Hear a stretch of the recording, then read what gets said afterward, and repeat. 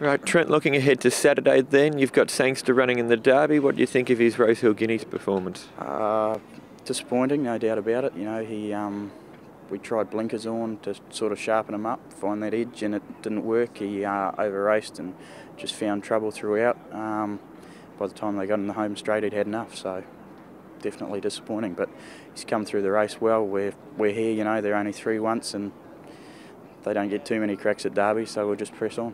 He was ridden beyond midfield last time, and then before then in the Alister Clark he led. Uh, what do you think he suited ideally in the run? Uh, we've learned a bit about him this campaign. When he's up on the pace and rolling along, he'll be there. But um, if he gets back and gets a, mid, a bit of backwash, he doesn't put in, so he'll definitely be up on the pace. So he'll go forward on Saturday. Yeah, for sure. He came through that run in the Rosehill Guineas okay? Yeah, couldn't fault him. Like we were in two minds whether to press on. If, if he'd pulled up a bit rough, he'd be home on a plane, you know. But as I say, they're only three once. He's pulled up good, so we'll have a crack.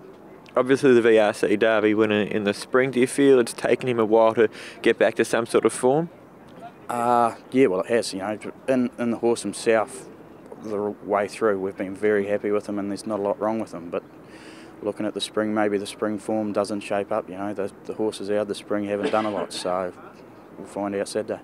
Who do you rate as the main dangers to beat in that race? I think the top three out the Rosehill Guineas, the filly, she's won over 2,400. Gai's horses, you know, it'll be up on the pace and hard to beat. And the other Kiwi horse, Ocean Park.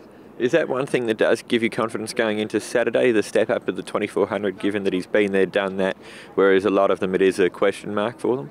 Yeah, it's always good to know you, you're going to get that distance, so that's one thing we don't have to worry about.